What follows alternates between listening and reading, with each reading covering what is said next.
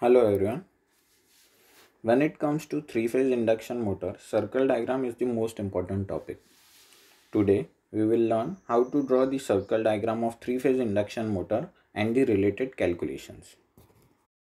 Please pause the video for better understanding wherever necessary. Circle diagram. It is the graphical tool to find out various induction motor parameters for different motor loading conditions. These parameters are not determined on the nameplate of induction motor. Circle diagram helps us to reduce the effort using equation each time. Required results for drawing circle diagram are the results obtained from no load test and block rotor test. Now for better understanding we will take this example. We will draw the circle diagram for the star connected induction motor having 4 poles and 5 HP power rating. We have the test data from no load test and block rotor test. From this data, we can draw the circle diagram. Now, coming to the calculation part, we can draw phi NL and phi SC from these formulas. We have gone through these formulas in the no load and block rotor test videos. If you are not familiar with these formulas, watch the videos from the link provided over here. From the formula, phi NL comes out to be 78.35 degrees and phi SC as 67.82 degrees. Phi NL is the angle between voltage and no load current, whereas phi SC is the angle between voltage and block rotor current. Now, coming to the most important part, current must be converted corresponding to the rated value VNL that is V1 of motor for which formula is ISN is equals to INL in bracket VNL divided by VBR which comes out to be 52 amperes. Similarly, formula for WSN is equals to PBR in bracket VNL by VBR bracket square which comes out to be 6800 watt. Now, before starting to draw the circle diagram, we must consider the scale. Therefore, here we are taking current scale as 1 centimeter equals to 2.5 ampere. Therefore, accordingly, length of I0 and ISN can be obtained by dividing values by current scale. It comes out to be 2 centimeters and 20.8 centimeters respectively. Now we will start to draw the circle diagram. First of all, draw positive x and positive y axis. On positive y axis, we take voltage and positive x axis is the reference axis. After this, we will draw I naught that is I0 at an angle phi 0. Phi 0 or phi NL is 78.35 degrees and the length of I0 or INL is 2 centimeters. Therefore, draw 2 centimeter line at an angle of 78.35 degrees from origin O. Now we have calculated the length of I0 and ISN as 2 centimeter and 20.8 centimeter respectively. ISN is drawn at an angle of 68.82 degrees from the origin of length 20.8 centimeter as shown in the diagram. It is shown by dotted lines. We obtain point G. By joining point Q and G, we will get the output line. Now, next step is to draw a parallel line to reference line from the point Q as shown. After that, bisect the output line that is QG and extend that line up to point P, line drawn parallel to the reference line. Now, taking point P as the center and radius PQ, draw a semicircle as shown. This semicircle will pass through point G and point PM where the semicircle meets the bisector line. Now next step is to draw perpendicular from the point G on the reference line. Then obtain point H which is half the length of line GJ.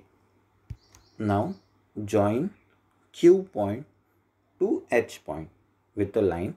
That line is called as torque line. After that, from point P, draw a line perpendicular to torque line and extend it till it intersects the semicircle at point TM. Now you have total three points on the semicircle. First one is the PM, second one is the TM and third one is the G point.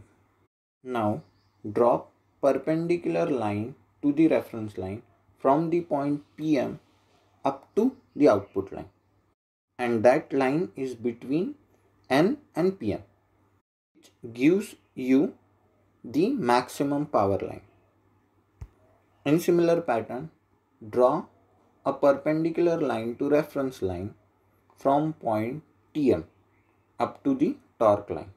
Now, the line between M and Tm is your maximum torque line. Now, it's time to calculate the power scale. We have already found out WSN as 6800 watt.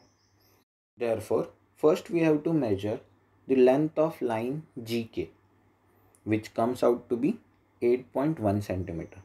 After dividing WSN by the length of GK, we will get the power scale as 1 centimeters equals to 839.5 watt. After that, we know our induction motor in the example is of 5 HP. Now we have to convert that 5 HP into watts. We all know 1 HP is equals to 745.7 watts. Therefore, multiplying it with 5 we get 3728.5 watt. In our power scale, we got 1 centimeters equals to 839.5 watt. Therefore, dividing 3728.5 watt by 839.5 we get the answer as 4.44 centimeters.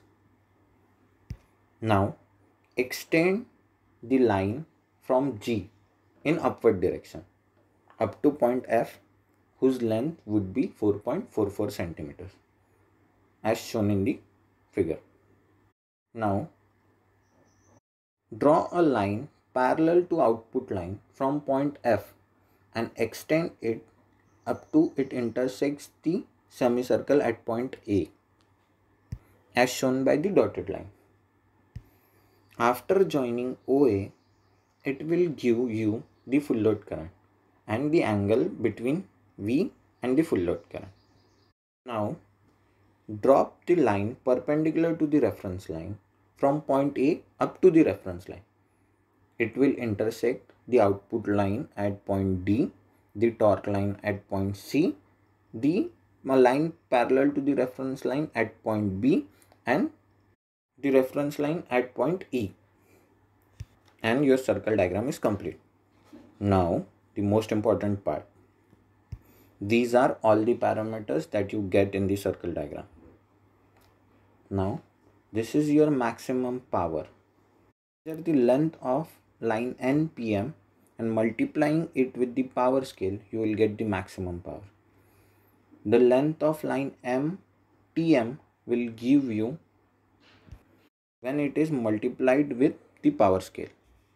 These are the rotor copper losses. Those are the stator copper losses. This much is the fixed losses. This is your full load output. AE is the input to the motor whereas AD is the output of the motor. You can also calculate the full load slip from the same DC by AC gives you the full load slip and this is the circle diagram. Now coming towards the summary. First we need to calculate phi NL and phi SC from no load and block rotor test data. After calculation of phi NL and phi SC, we have to calculate ISN and WSN. And then taking suitable current scale, calculate the length of I0 and ISN. Therefore, plotting I0 and ISN, draw output line. Now, bisect the output line and draw the semicircle as point P the center and PQ as the radius. Then drop perpendicular from the point obtained on the semicircle to the reference line. Divide that line into half and you will get the point H. Join Q and point H which gives you the torque line. Now draw perpendicular from the point P to the line torque line and extend it till point Tm. After that drop perpendiculars to reference line from point PM and TM up to output line and torque line respectively which gives you maximum power and maximum torque. Now calculate power scale. Convert HP rating of induction motor to watts. Extend straight line upward from the point obtained from the output line on the semicircle and draw parallel line to output line which gives you full load current and the respective angle. And in this way you are done with your circle diagram. Please practice the circle diagram as it is one of the most important topic. If you learned something new, please stay tuned to this channel for more such videos. Thank you very much.